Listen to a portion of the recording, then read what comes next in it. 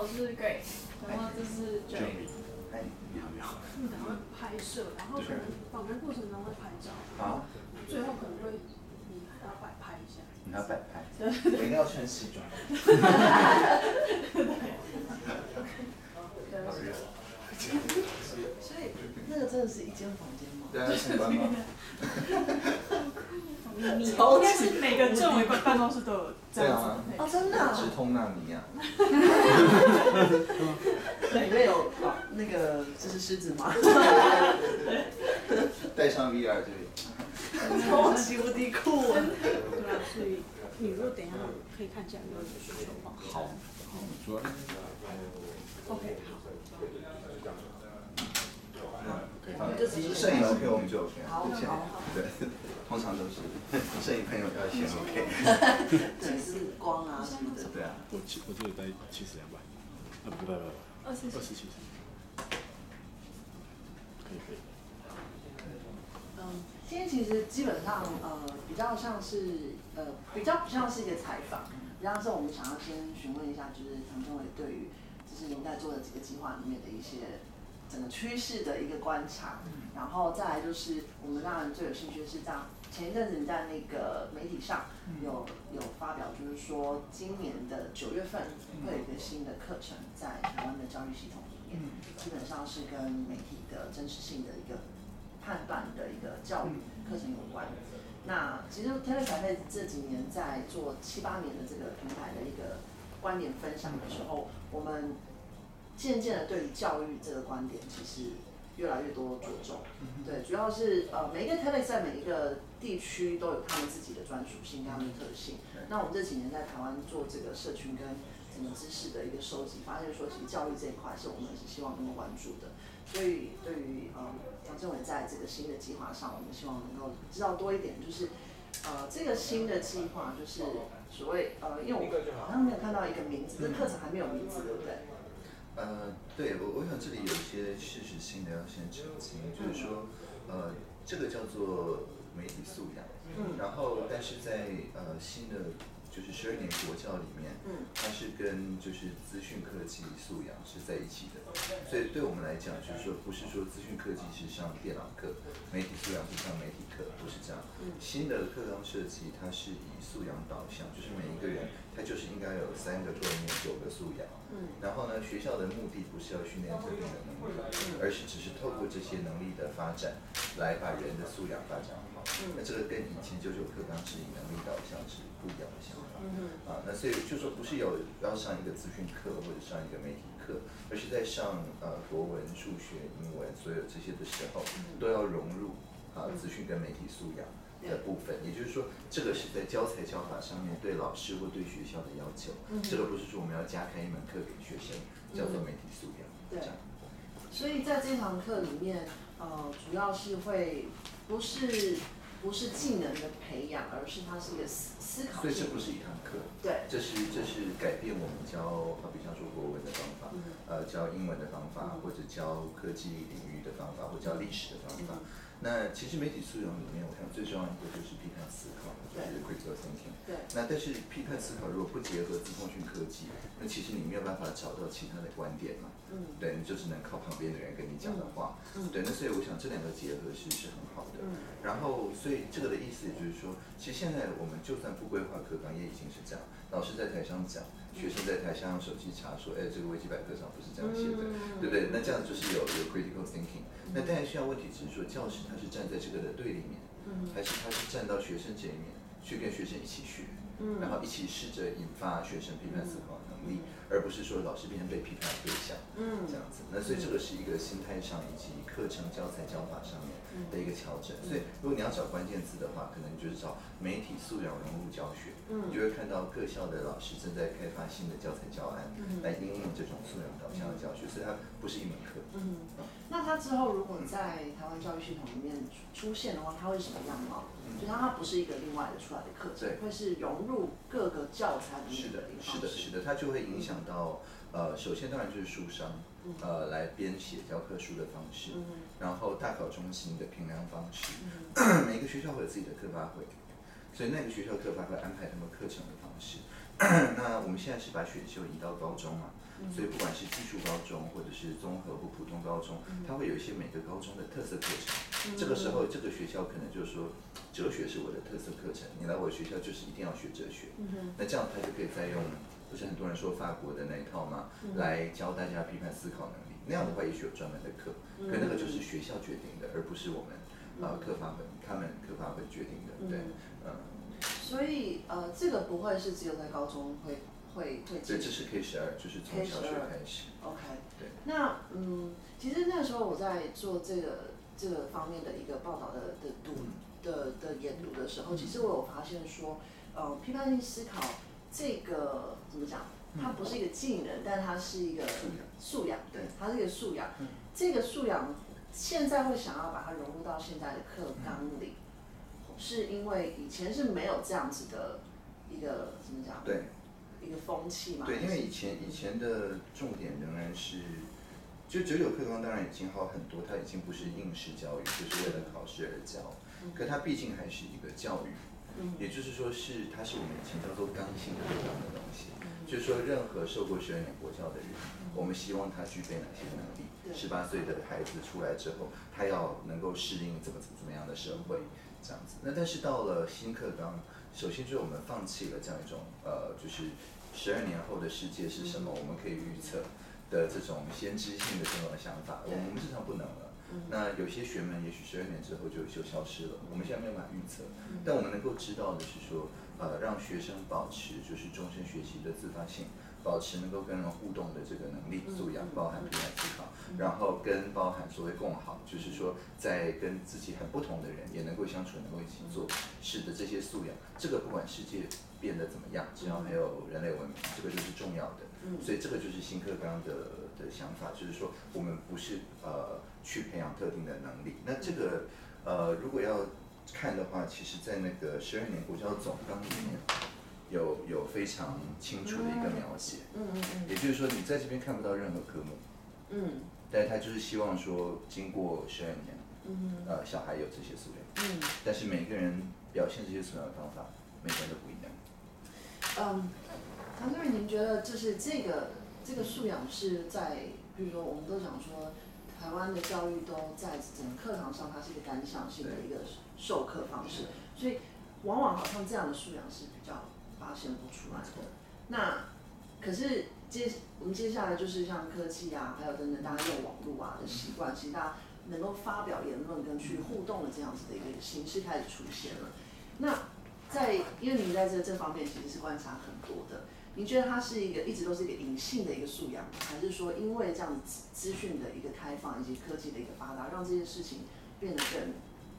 更更有可能去发生？以台湾来讲的话，因为我们其实呃戒严这个时代，这个素养的反面是被是被鼓励的，嗯啊，对不对？就是服从为负责之本啊，孝顺为其家之本啊，什么之之类那些东西。那我我觉得当然比我年轻一辈的人就很幸运，因为他们脑里没有没有那些东西。对。可是还有那些呃戒严时代的东西的时候，其实是不太可能去培养批判思考的素养的。嗯。这并不是科技的问题，这是政治体制的问题。对。对，就是说想要批判。素养的人，这个就要么就出国了嘛，要么就可能所以会被消失。嗯，这样，那所以所以我会觉得是说，呃，我们整个社会都还在学习。嗯，就是不管是这边所讲的，就是怎么样比较好的去呃，就是所谓的公民意识。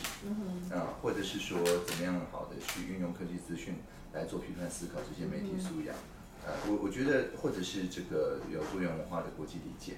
特别是这三个，我我觉得都是在以前的禁言体制底下是呃被打压的，他是没有办法去培养。那所以这个的意思，也就是说，老一辈的老师自己在成长的时候，并不是用这样子的方式，所以与其说隐而不显，我更会是说它是不允许被发生。嗯嗯嗯，对。现在的话，的确是。大家有这样子的一个机会，可以更多的批判性思考的一个空间。那，嗯，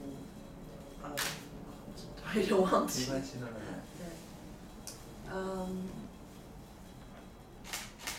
因为我我在读一个一个就是刚好就是当中有说网的一个报道，就是讲说，嗯，其实言论自由跟批判性思考是不是它是有一个关联性的？那，嗯，可是。我们在想这个批判性思考的时候，嗯，好像或许在台湾这个批判性思考的这个，嗯，那个素养，它跟言论自由，它好像它是对等关系吗？当然是当然啊。那会不会有矛盾的地方？没有啊，因为你要有批判性思考，你当然就要嗯先听到跟你意见不同的人的声音嘛，不然你怎么进行批判性思考？对，你总得听到多方的意见才能去做批判啊。嗯但是如果没有言论自由的话，你就只能听到一方的意见啊，嗯那样子根本没有批判性思考存在的空间嘛。嗯所以言论自由当然是大前提。嗯对，然后接下来就是说，如果呃有言论自由，但是没有这个思考嗯，的话，嗯那其实那就只有批判了，那也不叫批判性思考，那个就是批判而已。对对对，所以所以我觉得说，行使言论自由，本来每个人在发出言论的时候，他是不是思考过，然后提出有价值的批判，别人会觉得哦，这个观点我之前没有想过，对，还是说他只是就是批判，但是其实并没有帮助大家思考，这个是差很多的。所以我觉得言论自由跟批判性思考是彼此加强，嗯但是它是建立在就是有思考，嗯。然后有自由嗯。的这个前提嗯，不然的话你就只有言论跟批判，嗯。那有没有什么。对，因为其实，嗯，因为常常会听说，好像就是在呃，在网络上大家能够发言的那个空间是变很大的，反而你再去过滤那个资讯的时候，它那个这个思考的素养是很重要的。那呃，唐先生，您觉得这几年台湾呃，就是大家在使用这些呃言论相关的工具，嗯是有在进步当中吗？就是在这个所谓批判性思考的这个素养当中，它当然是在进步当中。当然有，我们现在看到一个大的公共议题，呃的各方的言论的出现，然后呃共识的凝聚、事实的发现等等，其实他的那个自组织的能力都都比我小时候的公民社会好非常多，这个是确定的。嗯，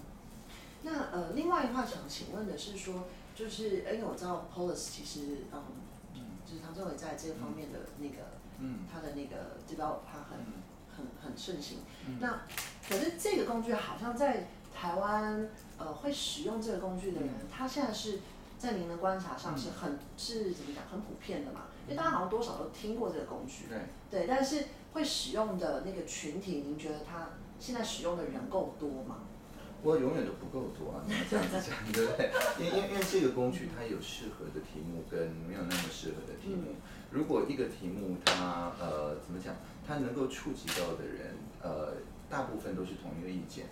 然后呢持不同意见的人其实并没有上网打字的习惯，嗯。那这样的话其实它是讨论不起来的。嗯嗯。啊，那所以说，其实他讨论的东西多多少少还是在，就像您刚才说的，就是在这种公共的网络言论空间里面，本来就习惯于意见交锋，对。呃的朋友，然后可能在两种价值或多种价值中间想找到一个平衡。那这个时候确实有些朋友就会反射性的去开一个 police，那这个我我觉得也是有，而且人数触及率也很高。啊，像之前随机杀杀人的时候，其实也是非常多人上 police 讨论死刑存废的问题。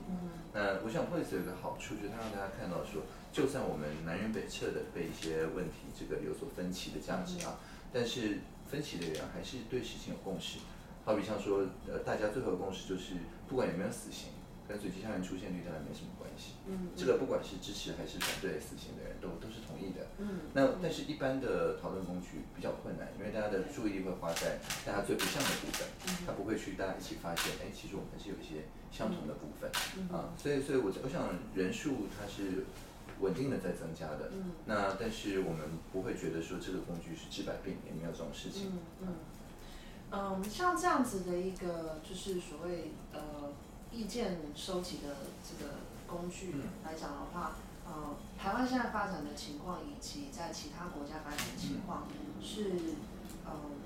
是站在什么样子的位置？因为像是我们讲说，呃，可能美国的美国的这个呃言论平台上，他们可能在这样子的一个 policy 使用上，是比台湾的民众上使用的更普遍吗？还是在国际上的一个情势是什么样子？嗯其实我们是最最早用 POLIS 去真正讨论就是有居住力的公共议题的地方，啊，就是在乌贝尔案的时候。嗯所以当然我们是 early adopter，如果你专门讲这个工具，但是在各国其实也有性质类似的工具，好比像说呃马德里有那个德里，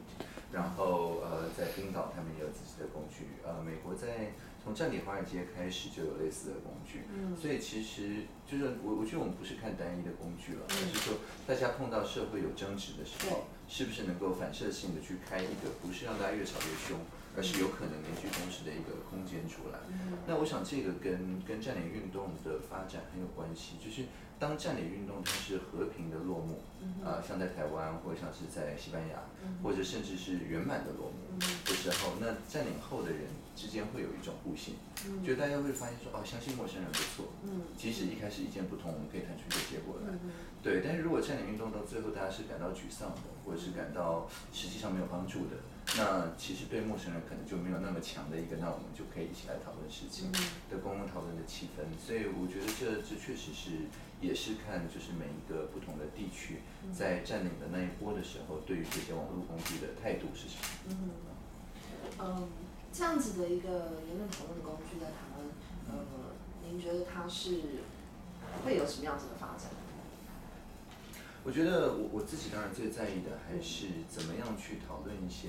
不是完全用文字就可以描述的议题。嗯。啊，好比像说一个公园这个地方要怎么样去建造，或我们最近在做空总的那个社会创新基地，啊，那好比像说墙拆掉之后感觉会怎么样啊之类，那那这些东西其实它用文字是没有办法描述的。那当然你可以看一些 PowerPoint，可是事实上没有办法比得上去现场走一遭。啊，那但是就是说，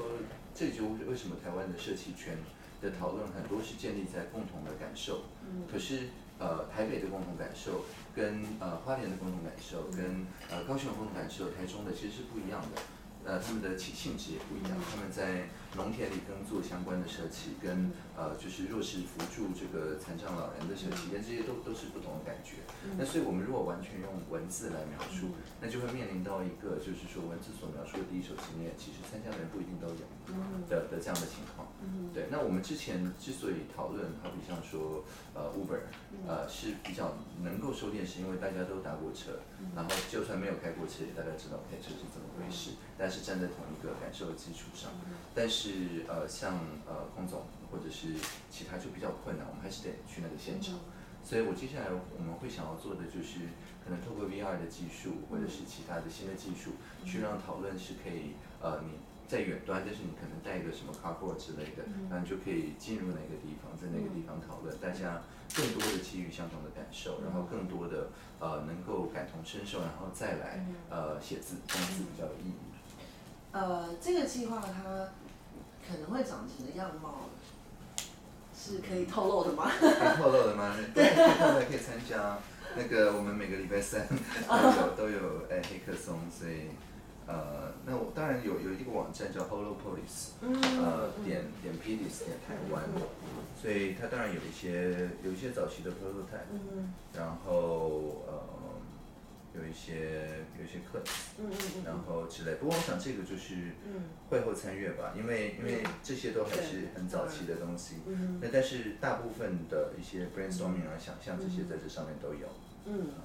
嗯，讲到感受这个，就是嗯，您曾经在一个报道上面是有讲说，其实很多的言论，呃，应该说在批判性思考以及去去 decipher 这个嗯怎么讲，去新闻的真实性以及资讯的真实性这件事情，如果把感受跟情感放在里面的话，很容易会去呃让你去没有办法很中立的去判断，就是嗯。因为您之前在一个报道里面好像讲说 emotional 这件事情，emotional 的言论其实它或许在资讯上的一个判断不是这么的这么的有效，是吗？我好像没有说。呃，没有说过吗？OK，好，那可能是我看错。那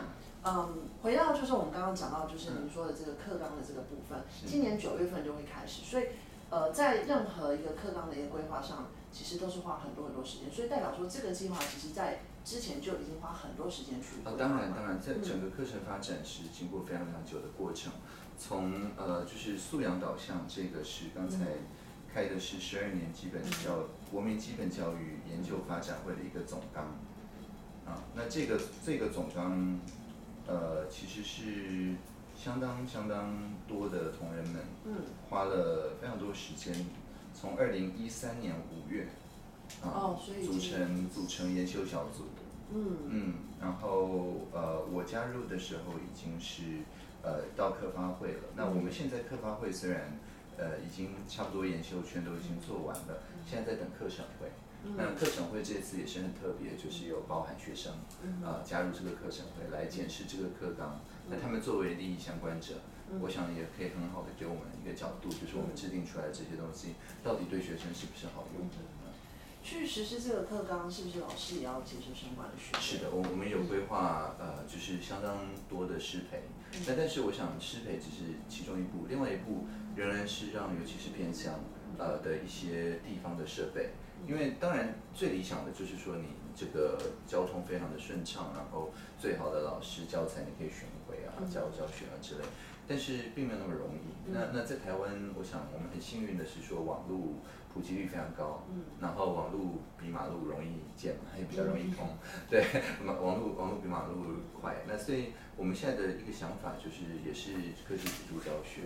那我们会用这个特别预算让。各个学校都有充分的频宽，至少投影机，那也可以让就是两个教室，就算一个在离岛，一个在市中心，他们可以结合在一起，然后形成所谓的双师教学，或者这这样子的一个感受。那我觉得这个东西才是能够形成一个持久的关系，不然的话，呃，你不管上几个小时的师培，那个小时老老师一回去，他还是很孤单的。对。对，那所以我我觉得说让。呃，就是教学圈不只是共同备课，也能够共同上课，这个也是另外一个就是呃，我们觉得说很需要的，因为不然的话就会变成是没有掌握教材教法的地方，跟有掌握教材教法的一些都市，呃，接下来会变成完全那个 digital divide 会会更可怕。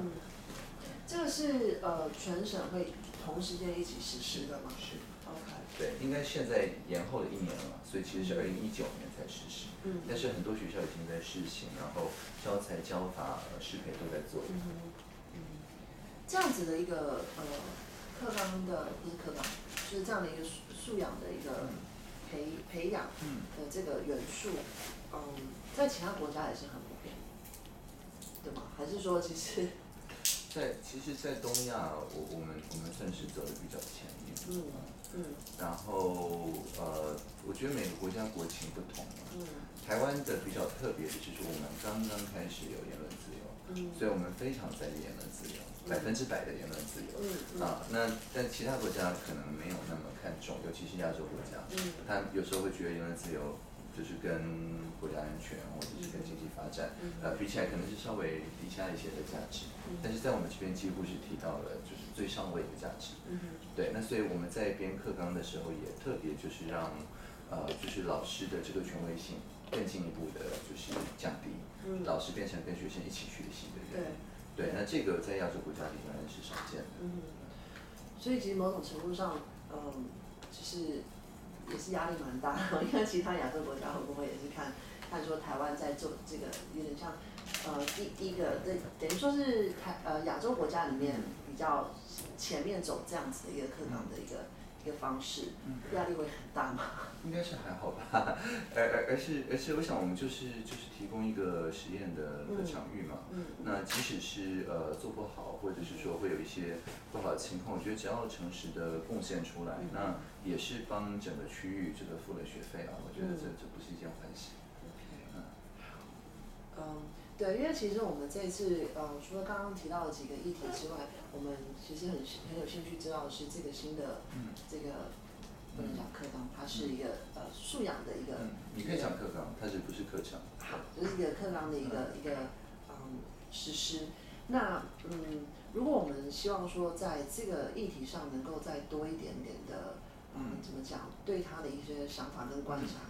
嗯。我们其实是希望是能够邀请唐建伟来我们的活动上去分享关于这一方面的一些想法。对，但是但是我我我觉得我不是很适合，就是说虽然我是前科发会的成员，我现在毕竟已经交接掉科发会的工作了，嗯，所以我觉得更适合的可能是我们呃可能永山主任或者是国教院的其他的实际还在就是进行课纲工作的朋友们，嗯。那他们也是很辛苦，因为因为本来以为就是会提早实施，所以其一切都非常紧锣密鼓。那现在多了一年，反而有多一年的准备空间，而且我们可以把社会课纲也同时上路了。那那我觉得这个我觉得是很好的，因为因为以前大家会觉得说争议大到一个程度，可能无法处理。对但是我觉得这届政府会觉得说争议无论多大，我们都都试着处理。那我觉得这是还蛮好的。所以不管是教育部的朋友，特别是国教院的朋友，我觉得他们会比我适合在现在这个阶段来讲这些。嗯，因为其实我们呃，对于这个计划，我们希望说它不是只是一个计划的描述，嗯而是它可以带到一些可能刚好是唐主任您在这个资讯开放的这个嗯整个过程当中看到的一个高度跟观察，嗯去可以运用在这个计划它的描述上。嗯嗯，所以这很希望说唐志伟也可以来到我们的活动上。那我知道，当然，呃，就像您讲的，这个计划从二零二零一三年一三年就已经开始筹划到现在。当然，这中间呃出力的很多的，就是呃长官们跟前辈们，他们是非常非常非常适合去讲这个计划的。但我们是比较希望说，这个计划成为一个等于说它是一个案例。嗯但是从这个案例，我们拉高角度去来看的话，这个这个案例它代表了什么样子的一个社会现象，以及说我们未来对于这个案例上能够去，嗯，怎么讲，去接下来会发展的的可能一些趋势，嗯我们应该怎么去看这件事情？那所以我们会觉得说，唐正文是非常非常适合的人选去讲这个。我觉得当然有两个时间点，就是说，因为课程会现在毕竟还在审查，嗯啊，所以我我不是很希望就是用课发会前成员的角度，嗯好像好像去说这个课程会这个一定要让某个部分过啊，其他部分这个 这之类的。那所以当然，如果课程会的人这个自己来讲，也许反而没有这个问题。但是我觉得，总之他现在是在一个审查过程。是然后另外一个就是说，因为事情的时间往后压了，所以确实我们在适培或者是试教的过程里，也许真的如您说的，就是说，因为是一个比较实验性质的东西，我们会发现一些要检讨。那我现在喊太大声，那也可能也不太好。嗯所以，所以我觉得说它有一个时间点，就是如果是到，好比像说二零一九年初，嗯就是确定在那一个学期，就九月就要实行，定版出来了。嗯我觉得那个时候来讨论，可能会呃对整个参与课堂工作的朋友都会比较好。如果我们是以一个比较概念性的方式去思考，就像我们那时候呃，您有一直提到的，就是说这个其实我们如果不用课纲这件事情来看的话，反而它是一个媒体素养，对它是一个思考的素养来看这件事情，我们去讨论这件事情的话，您觉得会不会比较适合？就就跟教育就脱钩了，等于是说。嗯，我觉得不是脱钩，而是说它是教育的一部分，但是因为这个教这个计划它还在酝酿当中，那所以有很多事情它的细节是不不不不方便去太公开讨论的。呃，那如果可以公开讨论，呃但是只是是我不适合公开讨论，对对对，就你们都是它，可以公开讨 对论。对对，这可以公开讨论，但是因为他很多东西还没有定案嘛，所以不太不太适合去有太多的呃定论。，就是对，不适合构成定论。对对，对讨论当然。嗯，对，所以如果我们用一个比较概念性的方式角度去切入讨论，呃，以这个当一个其中的案例，然后我们来讲，就是呃，所谓批判性批判性思考、媒体素养这件事情，以及连接您过去的一些经历，去看这样子的一个一个社会现象，您觉得会适合吗？如果以这个角度去切入的话，不过你你刚刚讲的几个是是其实是逻辑上是有点分开的。呃，嗯我们看一下哈，您刚刚说的是说呃 critical thinking 对这个是先的嘛？对。然后，然后媒体素养那，课纲是相关的，是不不一定要绑在一起的嘛。然后您刚刚又说到是说我自自己过去的学习经验，是不是？就是在呃您参与的几个计划当中，嗯不管是 Polis 或是就是资放资讯开放这件事情，跟 critical thinking 中间的连接性。对，OK，然后 OK，所以最后导向是说，呃，嗯。就是怎么样，就是嗯。民主深化啊，什么这一类的嘛，对。不对。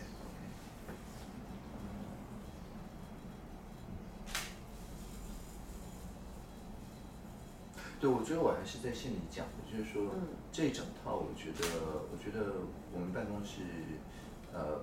不乏人可以讲，不 不一定不一定要我讲，呃，这这是这是一件事。那另外一件事情是说，我们之前有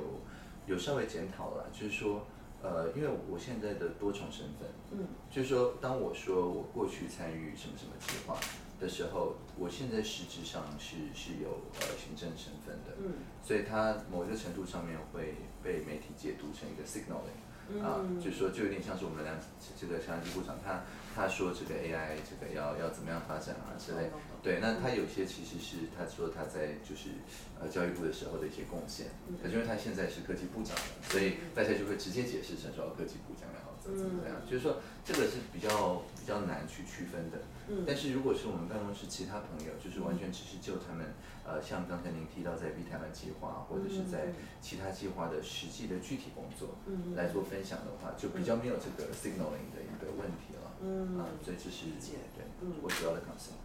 对，因为我我知道说，就是可能因为像你讲的，就是身份的问题，所以会呃怕怕会说有一些 misleading 的可能性。那嗯，因为其实我们在邀请讲者的时候，我们看的其实呃，当然这这位讲者他本身参与的计划是很重要的，但是呃，这位讲者他的观点更是我们很希望能够去呈现出来的，因为其实参与计划的人会很多，通常不同的计划，可能每个人参与计划都不一样，但是从这计划当中去看到的观点跟观察，其实通常都是最宝贵的、最宝贵的一个一个资讯。对，所以呃，也是为什么那个时候会希望说能够邀请到唐政委来来来分享。嗯嗯，我在想说，如果您觉得是身份的问题的话，有没有可能是哪一个角度是您觉得比较不会跟您的身份有有冲突的，可以去讨论？因为我们很希望是您的观点。我想数数位政委就是好几位政委嘛，其实其实我们我们我们办公室呃的的具体的那个 roadmap 啊这些设定啊，呃其实一开始出样嘛，然后后来后来方瑞，然后现在当然小婷来了，呃其实都就是是有不亚于我的这样子一个参与的程度的 perspective，所以我我觉得刚才讲的几位其实都都很可以作为讲者，如果你要的是就是我是目前的 perspective 啊，其实我只是传声筒啊，其实 perspective 都是他们形成的，哈，对，所以所以这个是这是一件事。那另外一个就是你问说我有没有什么角度是名实相符的哈，嗯。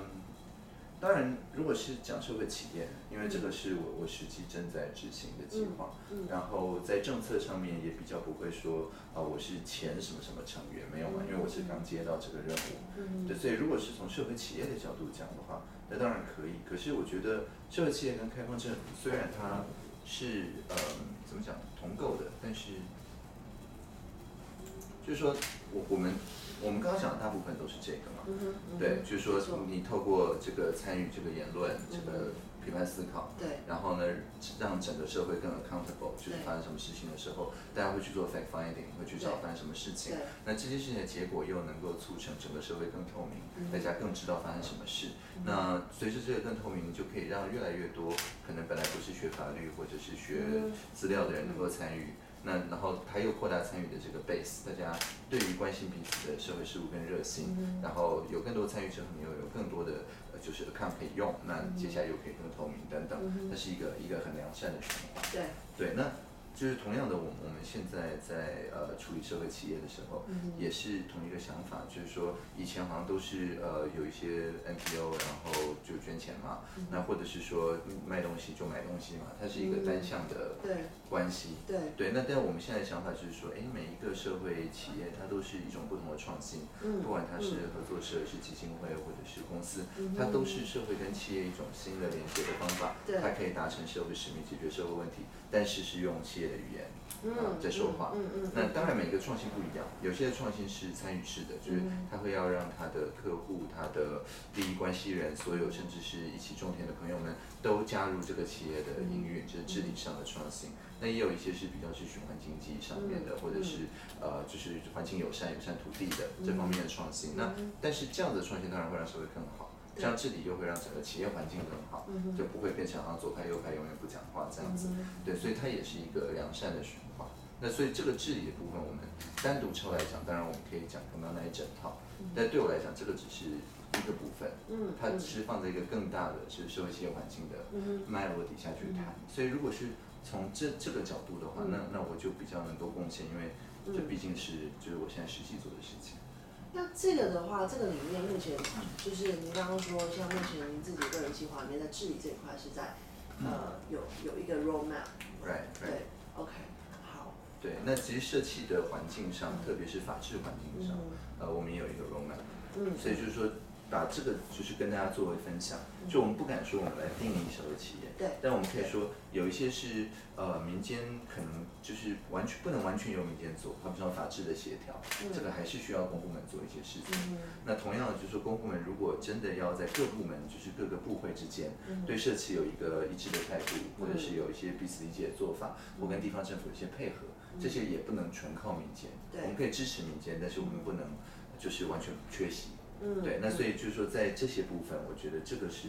当然我可以分享的，里面还是会碰到治理，就是还是会碰到刚才的这些，但它是一个 background，它不会是呃就是演讲的主轴，不会好像是哎我要把台湾变成一个多么有这个批判思考能力的地方。那我好奇问一下，在这个这块治理的这块的 roadmap 里面，除了您刚刚讲说这个是其中一个环节对，其中一个案例，应该说说这是执行的方法。哦，这是执行的方法，对，就是当我们说开放式治理或多利益关系人治理的时候，嗯。我们讲的就是从呃，当然你要进入这个，你要先需要做一定的数位的转型，呃，不然的话，如果都是手写稿，其实很难透明嘛。懂，对，但是你要从透明进来，嗯。那进来之后，你你某个方面透明，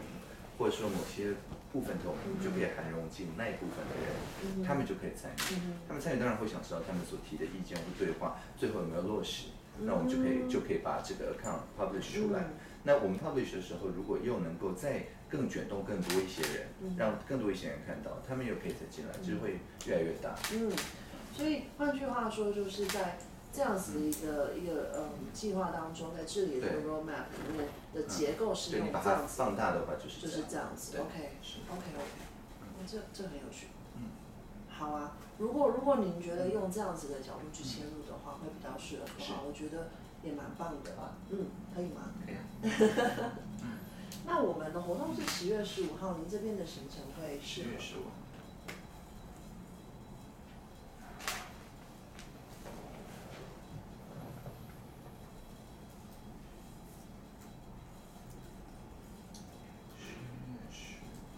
是个礼拜天。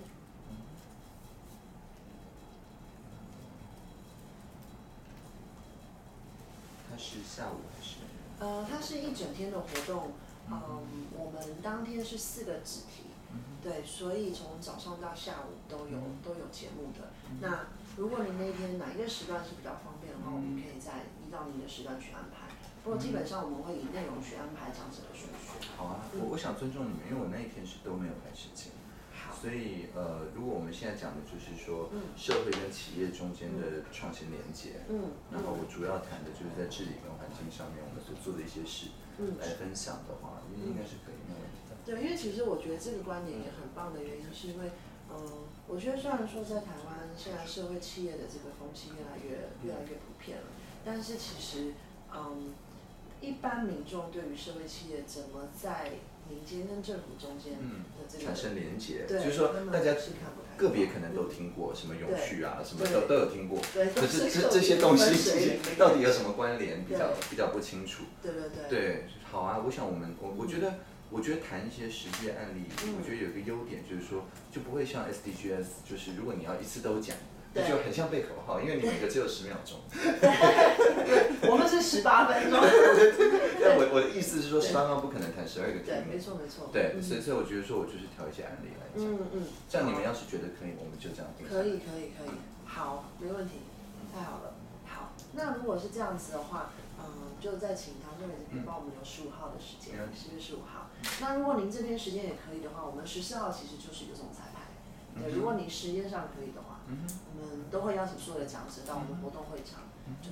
等于说走一遍演讲的部分，这样子可以熟悉环境。好，我我就都先留下来。好，OK，太好了。谢谢。好，谢谢你，谢谢。因为我们这一次其实，当然您一直在参与的计划是我们一直都很希望能够在平台上分享的。那今天很很兴奋的也听到说您会用社会企业的角度去切入，因为其实社会企业，嗯，我们一开始呃，在在做的时候也是希望说，社会企业的这样子的一个一个力量，它是可以更普遍化，可以让更多人知道，因为毕竟它是一个，就是在台湾可以算是一个兴起的一个风气。当然，在国外它已经不是一个新的对，它已经不新了。但我觉得越多人知道它，越能够成熟的机会更大。对，所以如果说可以用一个更呃，就是像您讲的，就是政府在这里面可以扮演的角色是什么？或许它可以引起的公众讨论会更多。是是对对对对对。好，OK，太棒了。那我们就就这样子，谢谢谢谢同学们，谢谢谢谢谢谢。你要拍照。对，好不好意思，请有可能把那窗帘打开。哦，没有问题啊，就是这样会不会太亮？还是不会这样会比较采光比较好。呃，对。这样直接拉入。应该是，还是还是这样子可不。能只是开大一点，可以啊，可以啊。拉起来也是可以的，有点爽。要全开吗？还是大概？这样可以可以。